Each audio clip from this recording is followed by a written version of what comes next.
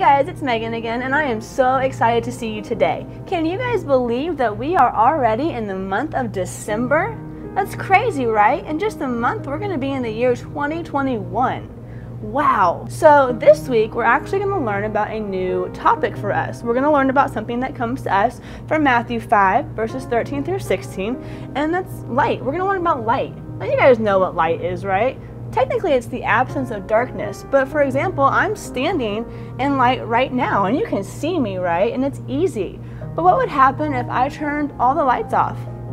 It'd be pretty hard to see me, right? Can you guys think of some things that you have to have light for? cooking, reading a book, doing a puzzle, even just walking, right? If you tried to walk someplace where it was completely dark, you'd have a really hard time. You'd probably stumble. You'd probably fall. You might even get hurt. Light is so important. It helps us to stay awake, it helps us to stay alert, and it helps us to stay healthy. Now, you guys, Jesus is the light. But did you guys know that Jesus also calls us to be a light in the world, to show God's love, and to help other people find their way to Jesus? Today we're going to learn about two things that Jesus calls us as Christians to be. He calls us to be the salt of the earth and the light of the world. All right, so first we're going to talk about salt. And I actually brought some salt with me today to help you guys kind of see what I mean by salt. Now, we all know that feeling when we have something that tastes just a little bit too salty, right? We use salt today as a way to flavor our food. And in Jesus' time, he used it similarly, but also in a really different way. And so it's important for us to know that so we can know why Jesus might have called us the salt of the earth. In Jesus' time, salt was so valuable. In fact, it was so valuable that the Roman soldiers used it as payment. They got paid in salt. Can you imagine that? Now, their word for that was called salarium. And the first three letters of that word mean salt. But salarium is actually how we get our word salary today. So you can see it was really important, right? A lot of times we say, you're worth your salt. And that's what it meant. Also, though, in Jesus' time, if salt wasn't put on meat almost immediately, that meat would go bad and it would decay and it would rot out and it would not be safe for them to eat. So in Jesus' times, quite literally, salt preserved the earth, right?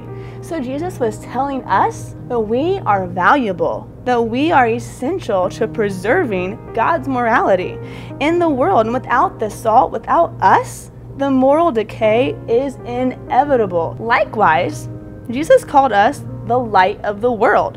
Now, Jesus is the light of the world but we are also called to be a light in the world. And in Jesus' time, there were no streetlights and there was no electricity. So a city that had a bunch of houses that were lit really bright would have been really easy to find, right?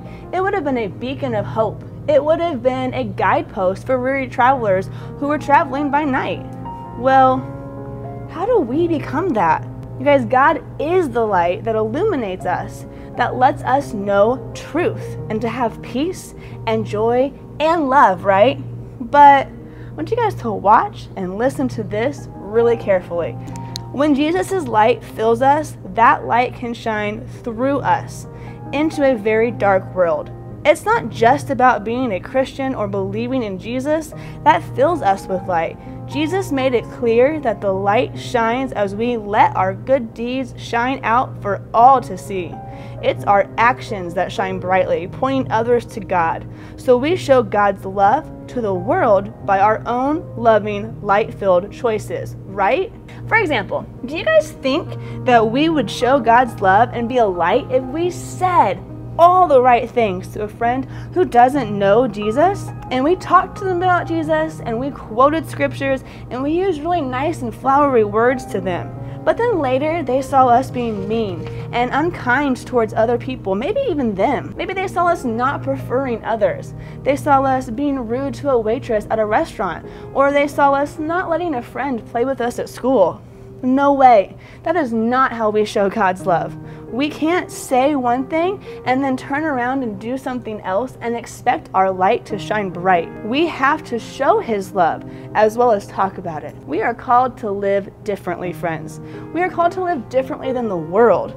So it's important to ask ourselves Am I living the way the world lives? Or am I living in a way that calls others to sit up and pay attention to God's values? When we know that something is important, like God's love for us and God's values, we should want to let others know too. Just like when something really exciting happens to you guys, it's hard to keep it inside, right? It's hard to stay quiet. That is every day for us, you guys. We know Jesus and we know that He loves us, and there is nothing more exciting than that. So let's not hold it in. Jesus loved us first, and it's our turn. We can show God's love to the world through our actions and through what we say by putting others before ourselves, taking time to help someone in need, or just being a good friend. When people see our actions, they should be able to see God's love in absolutely everything that we do, you guys. I do have a really fun challenge for you guys this week. I want you guys to find a flashlight or maybe a light up candle. Don't use one with an actual flame. And keep it close by you this week, even just today, to let it remind you every time that you see it that we are to be a light in the world. And don't forget that we do have a new memory verse for the month of December that comes to us from Deuteronomy 6, verse 5. And it says, Love the Lord your God with all your heart. Have a great rest of your week, and I will see you later. Bye.